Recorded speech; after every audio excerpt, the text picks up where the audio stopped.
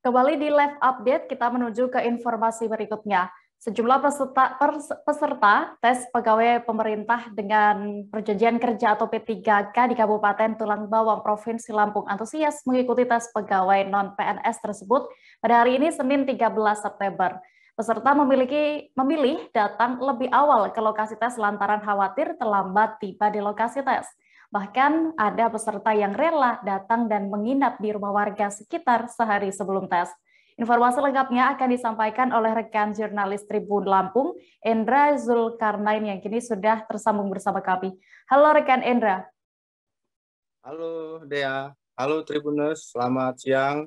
Endra bisa Anda ceritakan bagaimana uh, kisah dari perjuangan perjuangan sejumlah peserta tes pegawai pemerintah dengan perjanjian atau P3K ini dari hasil pantauan Anda di lapangan? Baik, rekan Dea. Jadi uh, Tribuners tadi pagi setelah dilaksanakan uh, tes pegawai pemerintah dengan perjanjian kerja uh, tadi pagi. Jadi uh, sejak pagi tadi banyak dari peserta tes ini memang sudah mendatangi lokasi. Bahkan ada dari mereka yang sejak kemarin, kemarin sore sudah tiba di lokasi. Dan mereka memilih menginap di rumah warga karena eh, panitia tes menjadwalkan pelaksanaan tes itu dilaksanakan pukul 7 pagi. Sehingga mereka yang berada jauh dari Kabupaten Pulau hmm. Bawang hmm. itu memilih tiba di lokasi lebih awal. Sehingga mereka lebih memilih menginap di rumah warga sekitar di lokasi tes dan beberapa masjid karena mereka khawatir nanti ketika pelaksanaan tes akan ada keterlambatan karena lokasi tes ini berada di sedikit ada di wilayah pedalaman dari Kabupaten Tulang Bawang sehingga daripada mereka nanti terlambat mereka memilih untuk menginap di sekitar lokasi tes. Demikian rekan Dea.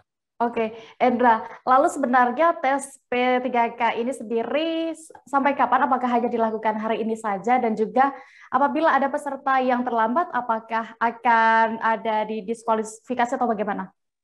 Ya, dari informasi yang saya dapat dari panitia tadi, pelaksanaan tes P3K ini dilaksanakan sejak tanggal 13 September hingga 16 September mendatang.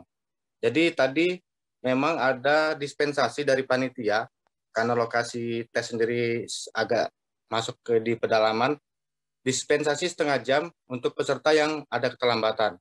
Namun, jauh-jauh hari sebelumnya, panitia memang sudah mengingatkan peserta agar lebih datang lebih awal di lokasi supaya tidak ada keterlambatan. Karena uh, peserta tes P3K di Tulang Bawang ini memang tidak hanya dari Kabupaten Tulang Bawang, dia banyak juga dari kabupaten-kabupaten tetangga yang berada di Provinsi Lampung, yang jarak tempuhnya berkisar antara 3 sampai 4 jam tiba di lokasi. Demikian rekan dia.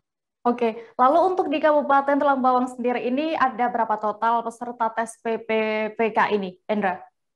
Untuk sejauh ini eh, total peserta tes ini ada 1.452 peserta yang kesemuanya merupakan tenaga pendidik atau guru. Memang dalam rekrutmen P3K, P3K tahun ini pemerintah lebih memprioritaskan untuk tenaga pendidik untuk P3K ini. Demikian rekan Dea. Baik, terima kasih rekan jurnalis Tribun Lampung, Endra Zulkarnain melaporkan dari Kabupaten Tulang Bawang. Selamat kembali bertugas. Terima kasih sudah nonton. Jangan lupa like, subscribe, dan share ya.